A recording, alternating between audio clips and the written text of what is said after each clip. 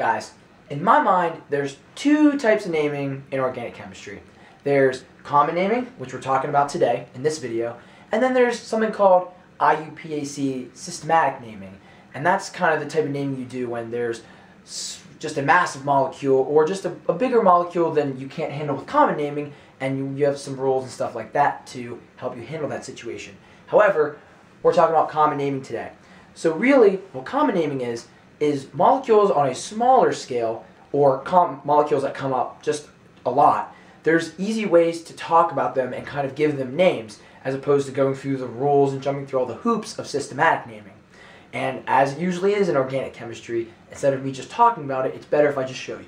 Okay, so really the, one, the molecules we're going to, the, at least the carbon chains we're going to handle are methane, ethane, propane, and butane. Okay, so let's talk about methane, and this is going to be a nice way to kind of ease into common naming. Okay, so really the way you have to, when common naming is applicable, is when you have something attached to a carbon chain. So let's just say instead of, you know, four hydrogens attached to this carbon, I have CH3 and a chlorine attached to this carbon, right? So all the hydrogens would be around here, so we have CH3Cl. So how do we refer to this? What do we say? The easiest way is that, okay, so the parent chain is methane, right? So here's how you handle this. Instead of saying methane, you kind of drop the ANE ending. You would say meth, YL, methyl, and then a space, and then kind of whatever you have, plus, if it's a halogen, a halogen being, uh, you know, one of the like chlorine, iodine, bromine, you kind of drop that, uh, you add an IDE ending. So this would be methyl chloride. And it's as simple as that, right? So if I gave you guys CH3F, right? That would be methyl fluoride, right? So you just add that IDE ending, you make sure your parent chain, you drop the ANE ending, and you add YL, and it's as simple as that, right? So let me just do one more with methane, and then we'll keep pushing forward onto a longer carbon chain. So if I gave you CH3OH, that would be methyl, and then it's kind of weird, no ID ending here. This would be methyl, and then the name of the functional group, methyl alcohol, right? Because it's not a halogen. Also, kind of on, along that same train of thought, if I gave you CH3 NH2, that would be methylamine, right? Kind of like that example I gave you guys during the functional group video, methylamine, right? So that's pretty much all there is to it. So let's go look at ethane. There's to be a little twist at the end, but it doesn't get that difficult, I promise. So if we had ethane, right, just like that, and from this carbon right here, if I draw a bond to chlorine, right, I'm not adding an extra carbon, I'm just drawing a line to chlorine. This would be ethyl, right, because it's not ethane, but F, and then you drop the A and E ending, add the YL, ethyl chloride. Right? Not hard. Right here, this would be ethyl, you guessed it, ethyl bromide. All right, now, what if I gave you this? This would be ethyl alcohol. And if I gave you this, ethyl amine, Not hard. All right, so now we tackled two carbons. Let's try three. Here's where things get a, there's a little twist, but nothing you can't handle. Okay, so before, before when we had methane and ethane, there were only two places to attach stuff, right? Because there was only one carbon here. And on ethane, right, it didn't matter if I attached something here or here, it was always the same molecule no matter what. These two carbons are what we call equivalent, right? However, a little bit different with propane. I can attach something here or here. These two are equivalent positions, right? Doesn't matter if I put something on this end or this end, it's still terminal. However, I can also attach something right there, and that would make the structure different. Okay, so let's see how we kind of handle this in a common naming fashion. If I were to add something like this, right, we still have one, two, three carbons and a chlorine. This would be propyl chloride. right? And if I did something like this, propyl bromide, if I did something like this, propyl alcohol. Mm, same thing as we've done with the last two structures. However, it gets a little different when we attach it to the middle position. We need to kind of use a different common name to say, hey, it's actually not, so this is a propane chain, however, we're not attached on the terminal carbon, we're in the middle carbon. So if I were to give you something like this, it wouldn't be propyl chloride. This is the iso position. So we would call, you know, asterisk, this would be called isopropyl chloride. And all this iso prefix does is just an indicator to whoever's reading this name to say, oh, okay, it's a three carbon chain, but this chlorine isn't on a terminal carbon, it's in the middle carbon, it's on the iso position. So if I were to give you something like this, and I think this might ring a bell because you probably bought this a time or two in your life, especially for you ladies out there, this would be isopropyl alcohol, right? You can definitely find that in Rite Aid or Walgreens or wherever, whatever drugstore you're near. So that's the only kind of twist with propane is that, you know, we have these two terminal positions that are equivalent, but we also have the iso position in the middle.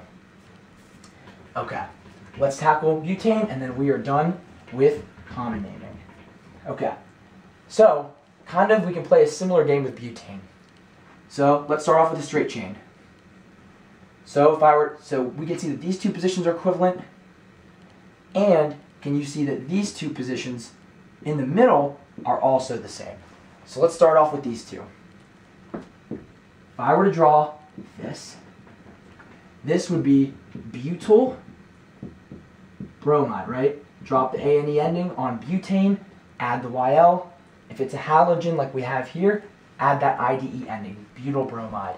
We could have butyl chloride, we could have butyl iodide, butyl fluoride. You get the idea. We could also have something like this butyl alcohol or butyl amine. List goes on and on. However, what happens when we have this? Right? This time we're not using that ISO ending. It's actually going to come into play in a few minutes. However, we have a special name for this. And before I tell you this, we need to kind of break aside to do something really quickly. So if we're going to look at this structure right here, there's some terminology I need to go over really fast. So if you have a carbon that's attached to one carbon, that's said to be called a primary carbon, right? If you're a carbon you're attached to two carbons, you're said to be secondary right? That's the uh, abbreviation with the number and the degree symbol. Here's the spelling. If you were attached to three carbons, one, two, three, you would be tertiary. And although we don't use this too much, if you were attached to four carbons, that would be four and a degree symbol, and that's actually called quaternary. The reason I bring this up is because over here, we have a secondary carbon and the way we name attachments on these two positions with just with butane is you say sec hyphen and then butyl bromide. So nothing changes, right? We're still using butyl bromide, but when you say sec, whoever's reading the name says, oh, okay, it's a it's butyl bromide, but the bromine is on the secondary carbon in butane, right? So if we had something like this, this would be sec butyl alcohol. So just a little twist, nothing you guys can't handle. Okay, here's kind of the last little, the last little uh, unexpected surprise, and then we're done with common naming. So we have butane, right? We kind of handled the two, the two unique positions, right? This guy here and this guy here, because we know this is equivalent to this, and this terminal position is equivalent to this terminal position over here. However, there's still a different way for us to arrange four atoms. What if I drew butane like this? Right? One, two, three, four. It's like if I just took this branch right here and kind of moved him over here. This parent structure is called isobutane, and this parent structure is butane.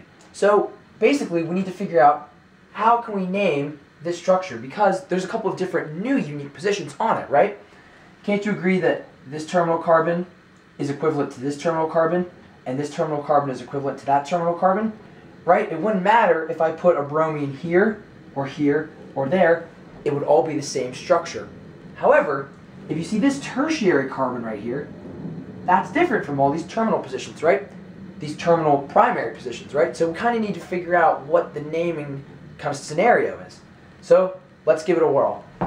If I were to just attach a bromine over here, which is the same as if I attached it here or there, right? These are all equivalent. We would name this like so. Isobutyl, right? Because this is isobutane. So we have to drop that A in the ending and we add YL, isobutyl bromide, right? And if this was a fluorine, that would be isobutyl fluoride. And if that was an OH, that would be isobutyl alcohol. And if that was an NH2, isobutyl amine, just like we have done before. However, the game changes a little bit when I would attach anything to the tertiary position, right, in the middle. So how do we handle that? We actually don't even use the iso prefix anymore. Because this is a tertiary carbon, much like we did with the secondary carbon up here, we kind of hint at that. So the name is actually tert, or T for short, tert butyl bromide. And in the same sense, if we were going to use an OH, this would be tert or T butyl alcohol. Now, you might be sitting there thinking, like, Joe, why did you we totally ditch the iso prefix? Like, that, that is a total indicator that we have this type of parent structure versus butane. And here's the reason why it doesn't matter. We only have a tertiary carbon with isobutane, right? There's no tertiary carbon here. It's primary, secondary, secondary, primary. Right here, it's primary, primary, primary, tertiary. So just make sure you know that you have to take your parent structure. You have to drop the A and E ending for alkanes and then add YL, right? Methyl, ethyl, propyl, butyl, isobutyl. Then, remember, there's always like some edge cases, right? So here, right, this would be propyl. Here we have isopropyl. Here we have butyl. Here we have sec-butyl. Here we have isobutyl. And here we have tert or T-butyl.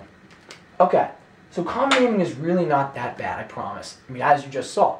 We hit it hard in the worksheet, so go ahead and attack that first alkane worksheet. It deals with functional groups and a whole bunch of this. In the next video, we're going to kind of ramp up our naming toolbox beyond common naming. You know, when things get bigger and there's more stuff attached. That's called systematic naming. And I promise, the hardest part about it might just be using the alphabet, and you'll see what I mean.